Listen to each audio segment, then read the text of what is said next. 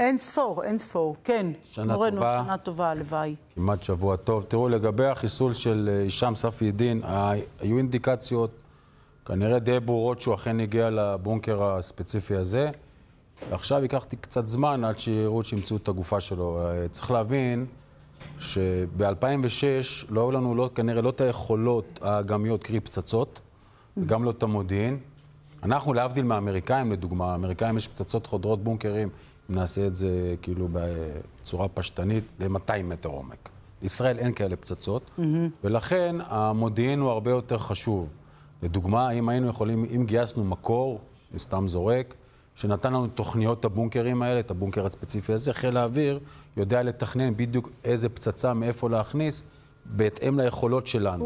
בכל מקרה, מה שהוטל שם, באופן שזה הוטל, כנראה שאף אחד לא שרד. יש פה באמת סימן שאלה אם אה, כהני היה שם, גם עם זה צריך להמתין, והיו שם בכירים נוספים. אני חושב שמה שישראל מדגימה פה לחיזבאללה ולעולם, על שליטה מודיעינית בלתי רגילה, אם הם בפרנויה, מה זה פרנויה הרי? זה שיש לך פחד ממה שאתה לא יודע שיקרה.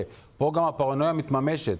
הרי הם, הם חשבו, לשיטתם, שגם בבונקרים המבוצרים והמסווגים, לשיטתם, הם מוגנים, מה אוקיי. שעושה רושם שזה לא כל כך כך, ובאמת צה"ל נותן עוד פה... ממד לפרנויה הייתי מוסיפה. כן. את הפרנויה מהלשנות, ומי המרגל, ומי מוכר, ומי מלשין, אבל תכף נדבר על זה, וגם אה, תת-אלוף במילדדי שמחי יצטרף אלינו. אבל בסוף וקוד- ייגמר להם איפה להתכנס. הם צריכו למצוא מקום להתכנס. או לברוח. מן תחתל תחתל תחתל ארד, כמו שאומרים כבר. לא המציאו מקומות כאלה. זה לא...